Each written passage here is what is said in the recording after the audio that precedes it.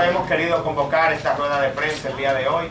para nosotros solidarizarnos con la protesta pacífica que han desarrollado un grupo de hombres y mujeres de nuestra provincia vinculados al campo, a los sectores religiosos, empresariales y sociales de nuestra provincia, la cual, como muchos de ustedes pudieron constatar, se escenificó en las inmediaciones del Palacio Nacional. Los motivos que han motivado, valga la redundancia, que hombres y mujeres hayan salido desde la provincia nuestra del Ceibo hacia la capital de Santo Domingo son las amplias precariedades que estamos viviendo como provincia dominicana. El caso de la provincia del Ceibo es un caso sumamente lamentable, empezando por las condiciones del hospital provincial, que es una pena y vergüenza las condiciones en que se encuentra el hospital doctor Teófilo Hernández, al igual que los acueductos, que la mayoría de estos fueron dejados en alrededor de un 70%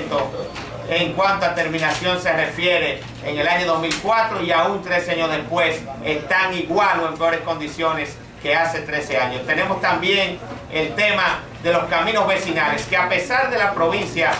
del Ceibo haber sido declarada en estado de emergencia, es la única de las 14 provincias declaradas en estado de emergencia donde no se ha iniciado ni una sola obra. Tenemos también, por ejemplo, el caso de la fortaleza y la cárcel pública, que es otra demanda del pliego de demandas que se ha sometido y que ha recibido una viceministra del Palacio el día de hoy. Nosotros queremos en esta tarde tan especial hacer un llamado a las autoridades del gobierno a ser más responsables y apoyarnos en esta reclamación que nosotros tenemos y que le hacemos este reclamo justo al gobierno dominicano para que le preste atención a la provincia del Ceibo, una provincia sumamente olvidada y que hoy es la quinta provincia más pobre del país precisamente por el olvido, gobierno tras gobierno, que hemos tenido en la República Dominicana. Diputados, ciudadanos que marcharon hoy, que fueron impedidos incluso, de, de, cambiaron las rutas por policía, esta temática que han adoptado las autoridades de eh, militarizar fuertemente las instituciones, en esta ocasión el Palacio, ¿cómo te califica esa acción?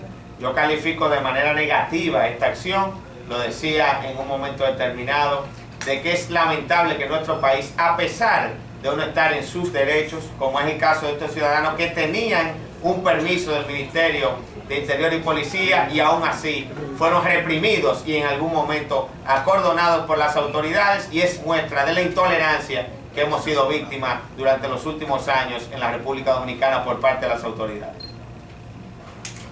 Puede seguir ahí para hacer un par de a nosotros.